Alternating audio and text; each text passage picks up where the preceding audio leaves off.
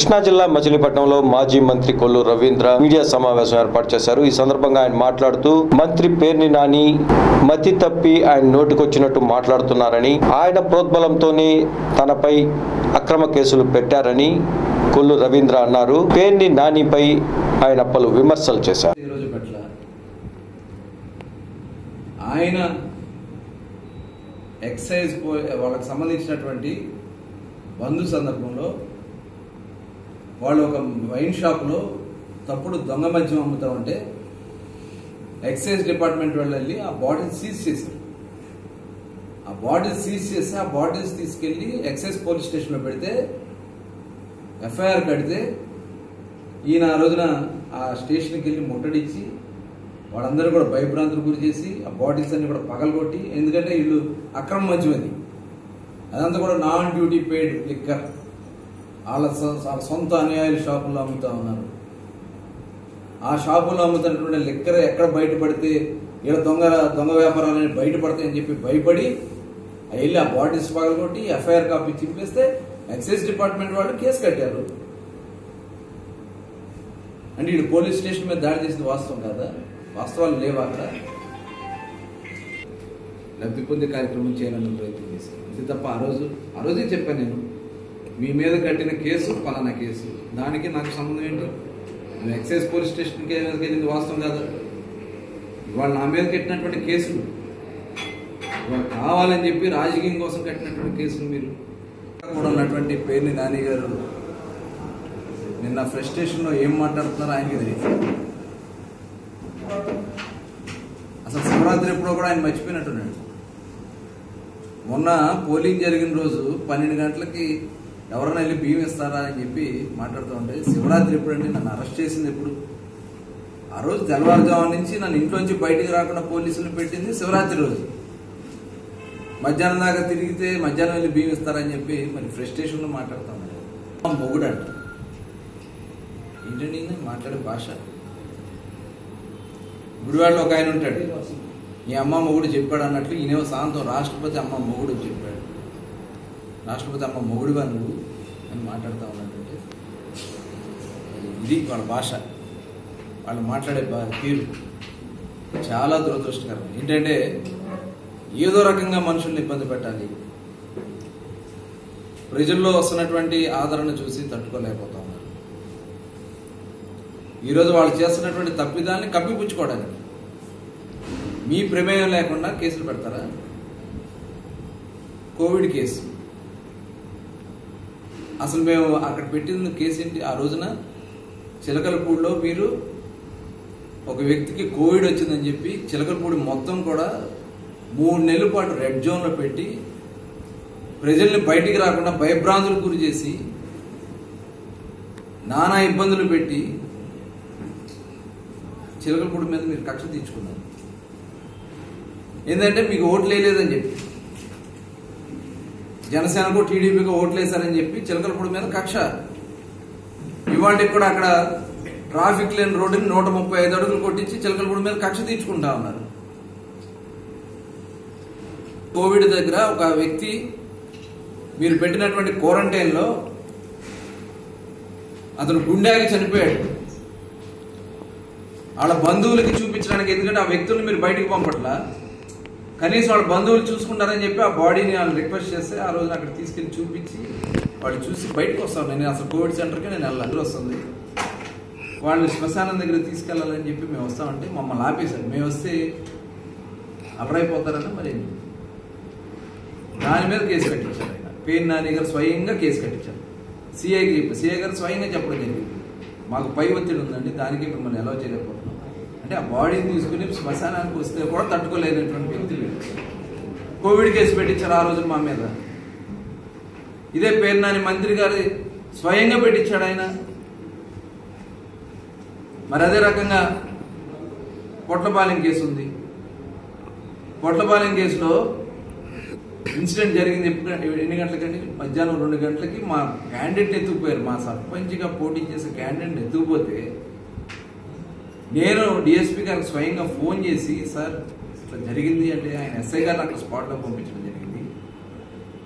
Sir అయిపోయింది అది అయిపోయింది వచ్చేయండి అని చెప్పి మా వాళ్ళందరూ తీసుకొస్తాకి వెళ్తే ఎస్ఐ గారు వాడిని స్వయంగా తీసుకుని లోపలికి వెళ్ళి లేడని చెప్పి బయటకు వచ్చేస్తే దాని మీద వెళ్ళి వాళ్ళ భార్యని నేను ఇంట్లోకి వెళ్ళి బెదిరించారట మా వాళ్ళు.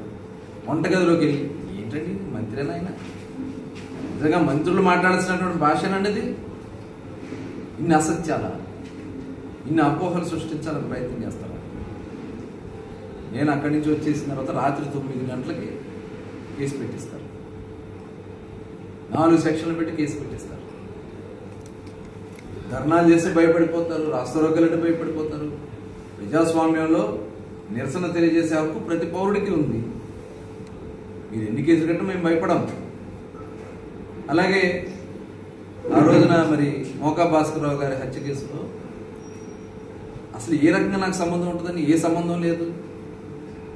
మరి నా పక్కన అసిస్టెంట్గా ఉండే వ్యక్తుల్ని తీసుకెళ్ళి చితక్కొట్టించి భయపెట్టి వాళ్ళతో రకరకాలుగా చెప్పించి నేను మాట్లాడానని చెప్పి ఇలాంటి రకరకాల ఇచ్చేసి మీరు కేసులు పెడితే అది వాస్తవం కాదా? వాళ్ళ రాష్ట్ర ప్రజలందరికీ తెలుసు మా మనస్తత్వం మేము ఏ రోజు తప్పు చేయలే?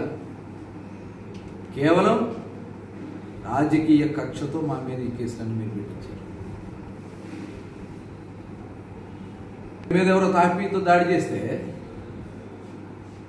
నాకేం సంబంధం అండి తాపీతో దాడి చేస్తే దానికి ఇంటికి ఇంటి నిండా పోలీసులు పెట్టి బలవంతంగా లాక్కెళ్ళని ప్రయత్నం చేస్తే ఆ రోజు మా నాయకులు రాష్ట్ర వ్యాప్తంగా స్పందించారు. ఏంటండి ఈ కక్ష సాధింపులు ఏంటండి? మరి నిన్న పోలింగ్ కేంద్రాల దగ్గర నేను ఎక్కడికి వెళ్ళా పోలింగ్ స్టేషన్లోకి వెళ్ళా నేను. నేను బయట మా వాళ్ళని అది ఆనవాయితీగా అన్ని అందరి పార్టీ అన్ని పార్టీలోనే చేస్తారు. మరి మీరు ఎలా తిరిగారు? మీరు ఎందుకు తిరిగారు? నేను ఇరవై ఐదో డివిజన్లో నా ఓటు వేసుకున్నాక నేను ఓటు వేసుకుని వస్తామంటే అక్కడ పోలీసులు వచ్చి అందరినీ చెదరగొట్టి మీడియాతో కూడా నన్ను మాట్లాడొద్దని చెప్పి నన్ను వంద వంద మీటర్ల అవతలకి వెళ్ళి మాట్లాడాను. సరే వచ్చేసాను. అక్కడి నుంచి వేరే ప్రాంతానికి వెళ్ళి ఎందుకంటే మా వాడిని కొడుతున్నారు. ఏజెంట్లు లేకుండా చేస్తున్నారు. పదమూడవ డివిజన్లో ఇదే పేర్ని నాని గారి సొంత డివిజన్లో మా తెలుగుదేశం పార్టీ అభ్యర్థికి సంబంధించినటువంటి భర్త పైన వాళ్ళు వాలంటీర్లతో డబ్బులు పంచుతా ఉంటే అమ్మ మీరు చేస్తున్నది ఈ తప్పు. వాలంటీర్లు ఏంటి? డబ్బులు ఏంటి మీరేంటి? అని చెప్పి వాళ్ళని వెళ్ళిపోమని చెప్పి చెప్తే దాని మీద వేరే వాళ్ళతో మళ్ళీ వాలంటీర్లతో కాదు ఎందుకంటే వాలంటీర్లు మళ్ళీ ఇది కాబట్టి. వేరే తప్పుడు కేసు పెట్టించి అతను హాస్పిటల్లో పెట్టించి హాస్పిటల్ నుంచి కేసు కట్టించి నైట్ అంతా వాళ్ళని అసలు అక్కడ ఎక్కడ లేకుండా చేసి ఏజెంట్లుగా లోపల కూర్చున్నటువంటి వ్యక్తిని కూడా వచ్చి బలవంతంగా ఎస్ఏ లాక్కి వెళ్ళిపోతుంది అసలు ఇది ఏంటండి రాజస్థానికి ఒక దళితుడు దినకర్ అనే వ్యక్తి హైదరాబాద్ నుంచి వచ్చి ఆటోలో ఓటేస్తాకెళ్తా ఉంటే స్వయంగా మరి అక్కడ అభ్యర్థికి సంబంధించినటువంటి భర్త గాజుల భగవాన్ మరి అనుచరులు ఒక మాస్టర్ గారు రఘుకాంత్ గారు చిన్న మాస్టర్ అంటారు ఆయన. పేర్నాని గారి బాగా దోస్త్. ఆయన ఉద్యోగస్తులను కూడా లెక్క చేయకుండా ఒక పార్టీ కార్యకర్తలకు అక్కడ కూర్చుని వాళ్ళందరూ కలిసి దాడి చేస్తే అతనికి తల పగిలింది. ఒళ్ళంతా కత్తిగాట్లు పడినాయి. హాస్పిటల్లో తీసుకెళ్తే కనీసం ఆయన్ని హాస్పిటల్లో కూడా అడ్మిట్ చేసుకోకుండా అతన్ని పోలీస్ స్టేషన్కి వెళ్ళి కంప్లైంట్ ఇవ్వమంటారు. అసలు కదలలేని పరిస్థితిలో ఉన్నాడు. తగలరాని చోట దెబ్బలు తగిలి అతని కేసు కట్టండి అని చెప్పి అడిగితే మరి అక్కడ కట్టించుకోకపోతుంటే నేను అక్కడికి వెళ్ళాను. అంటే మాకు అన్యాయం జరిగిన దగ్గరికి వెళ్ళి మేము ప్రశ్నించాల్సినటువంటి అవసరం లేదా? వీళ్ళకిలాగా నేను వెళ్ళి ఇష్టం వచ్చినట్టుగా డబ్బులు పనిచేసి వెయ్యి పదిహేను వందలు. అసలు విచ్చలవిడిగా విడిగా మంత్రి గారు ఎందుకంటే అక్రమంగా సంపాదించారు కదా సంపాదన అంతా. ఇసక బుసక ఈయన ఇచ్చినటువంటి ట్రాన్స్పోర్ట్లో ట్రాన్స్ఫర్లో డబ్బులు. అనేక మంది మరి ట్రాన్స్పోర్ట్ సంబంధించినటువంటి ఉంటారు కదా వాళ్ళందరి దగ్గర ఎంతెంత ట్రాన్స్ఫర్లు తీసుకున్నారో మా దగ్గర ఉంది. అసలు ఇష్టాలు ఎంత ఎంత దోచేస్తున్నాడండి ఆయన. ఈయనను కొడాలి నాని గారు కలిసి ఇసుకలో మొత్తం పంచుకుంటున్నారు వాటాలు పంచుకుంటున్నారు. స్వయంగా ఈ లారీలు సాల్ట్ ఫ్యాక్టరీలో చూస్తే భారత్ సాల్ట్లో మొత్తం ట్రాన్స్పోర్ట్ అంతా వెళ్ళదే. ఒక్కొక్క లారీకి టన్నేజీకి మించేసి పర్మిట్ ఉన్నది ఇరవై టన్నులకి అయితే ముప్పై నలభై టన్నులు వేసేసి లారీల్లో అక్రమంగా ట్రా ట్రా- ట్రాన్స్పోర్ట్ చేసేస్తారు ఎవరైనా మాట్లాడితే వాళ్ళ మీద దాడి వాళ్ళ మీద దౌర్జన్యాలు. ఎందుకంటే వాళ్ళ కమిషన్లు వస్తున్నాయి కదా మంత్రి గారికి వాటా వచ్చేస్తుంది. మంత్రి గారి శ్రీమతి గారికి వాటా వచ్చేస్తుంది. ఇది కాకుండా మళ్ళీ ఇంకో బొడ్డోడు బయలుదేరాడు. ఆయనకు ఓట వాటా. వాటాలు పంచుకుంటమే సరిపోతుంది. పుస్తక. ఎంత దోచేశారండి పుస్తకలో? షాడో మంత్రులు ఉన్నారు చాలా మంది షాడో మంత్రులు పుస్తకం మొత్తం దోచేసి ఆయనకు వాటాలు మంత్రి గారికి వాటాలు. ఇవన్నీ డబ్బులు ఉన్నాయి కదా బాగా మూటలు. ఒక్కో డివిజన్కి విచ్చలవిడిగా వెయ్యి పదిహేను వందలు రెండు వేల రూపాయలు కూడా పనిచేసి ఓట్ల కోసం చేసినటువంటి ప్రకృతి. బాక్సులు. వెయ్యి హాట్ ప్యాకెట్ చీరలు. వెళ్ళి అయ్యా జరుగుతుంది అన్యాయం జరుగుతుంది అని చెప్పి ఆ రోజు చెప్తే వాళ్ళు ఇంట్లో ఉన్నాయండి మేమే ఇంట్లోకి వెళ్ళకూడదండి. ఇంట్లోకి వెళ్తే ఊరుకో మన మాకు మాకు ఇది లేదండి అని చెప్పి ఆ రోజు మాట్లాడతారు పలానా చోట చీరలు ఉన్నాయమ్మా చూడండి అని చెప్పంటే అమ్మ మేము వెళ్ళకూడదండి ఆ ఇళ్ళలోకి. అది వాళ్ళ సొంత ఆస్తులు వాళ్ళు విచ్చలవిడిగా పంచుతున్నటువంటి పరిస్థితి. తీసుకొచ్చి స్టేషన్లో పెట్టి డబ్బులు పంచుతున్నారు. వాళ్ళ దగ్గర డబ్బులు ఏమైనా దొరికినాయండి?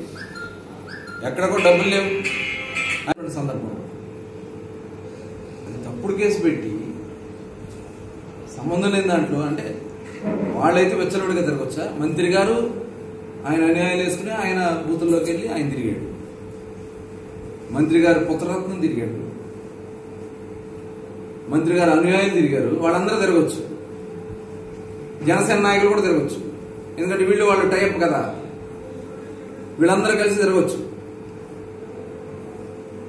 మేయర్ క్యాండిడేట్ అనౌన్స్ చేస్తే మేయర్ క్యాండిడేట్ అనౌన్స్ చేయకుండా ఈయన జనసేన నాయకులతో మాట్లాడతారు తెలుగుదేశం పార్టీకి మేయర్ క్యాండిడేట్ని అనౌన్స్ చేస్తారా? అసలు జనసేనకి మేయర్ క్యాండిడేట్ పెట్టే సత్తా లేదు.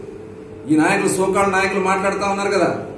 వాళ్ళ సొంత డివిజన్లోనే క్యాండిడేట్లు పెట్టుకోలేనటువంటి దౌర్భాగ్య స్థితిలో ఈ జనసేన క్యాండిడేట్లు ఉన్నారు. వీళ్ళ మాట్లాడేది? ఏ పేరు నాన్నగారు గారు వత్తాసు తీసుకున్నారు మీరు? నీ ఈ పేరు నాన్నగారు గారు మరి ఆయన అనౌన్స్ చేయడానికి ఆయనకు దమ్ము లేదు సత్తా లేదు. నీకు చెప్పా ఛాలెంజ్ చేశా. నీకు దమ్ము ధైర్యం ఉండను అనౌన్స్ చేయని చెప్పి. అది చేత కాదు మీకు. ఇలా అక్రమంగా కేసులు పెట్టించడం లోపలతో ఇచ్చడం ఇబ్బందులు పెట్టించడం పోలీసులు వ్యవహరించినటువంటి తీరు ఉదయం ఐదు గంటలకి. ఇంటి చుట్టూ రాత్రి పన్నెండు గంటల నుంచి కాపు కాసి కూర్చున్నారు. బయటికి రానుకుంటా సీసీ కెమెరా ఉంటే మొత్తం తిప్పేశారు సీసీ కెమెరా. ఎందుకంటే అన్ని రికార్డ్ అయిపోతుంది కదా వీళ్ళు చేసే చేష్టలు.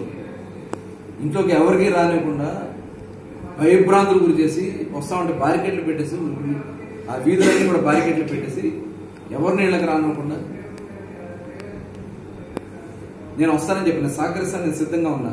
నేను తప్పు చేయలా అయినా సరే నేను సహకరిస్తాను. ఎటువంటి నోటీసు ఇవ్వాలా? ఎటువంటి ముందస్తు సమాచారం చెప్పాలా? వచ్చేసారు.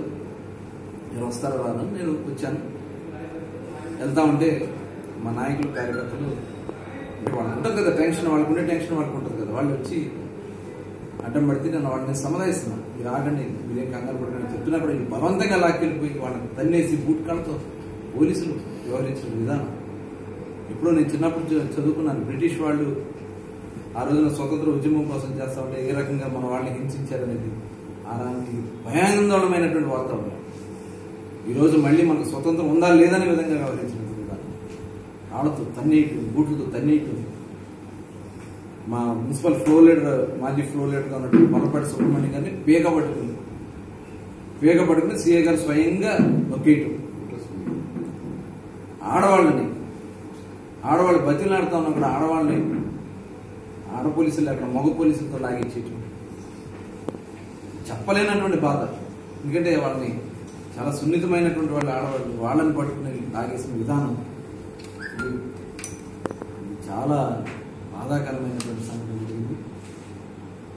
మరి దాని మీద ఎందుకంటే ఇవన్నీ మాట్లాడకుండా పేరు నాని గారు ఆయన ఏదో పద్ధతిలాగా ఆయన ఇవన్నీ కూడా ఆయనకేం సంబంధం లేనట్టుగా వీళ్ళకి తెలియకుండా జరుగుతాయండి ఏదన్నా? ఆయన స్వయంగా పెట్టించినటువంటి కేసు ఇది.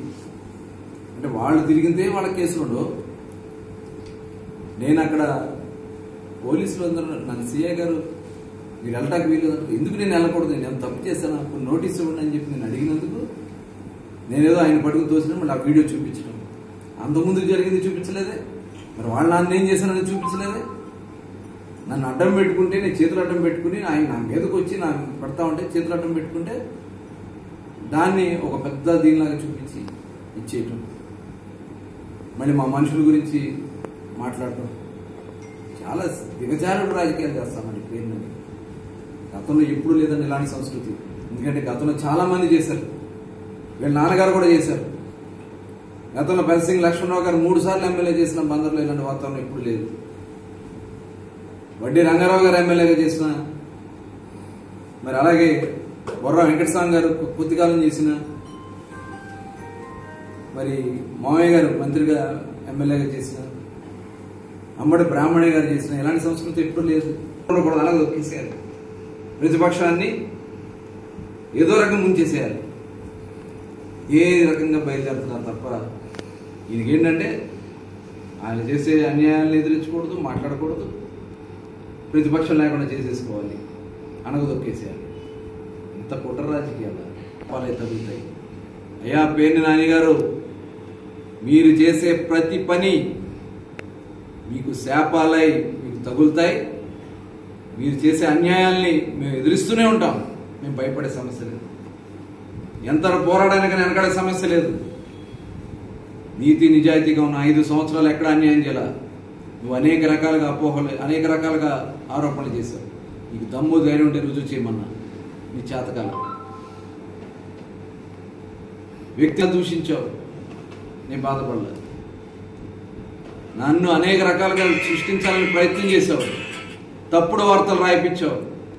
తప్పుడు కథనాలు చేయించావు నేను బాధపడలేదు. భయపడం మీకులాగా దొంగ దెబ్బలు దొంగచాటు రాజకీయాలు చేయం. ప్రజల కోసం ప్రజా సమస్యల కోసం పోరాడుతున్నాను తప్ప నా వ్యక్తిగత స్వార్థం కోసం నేను పోరాడుతున్నా.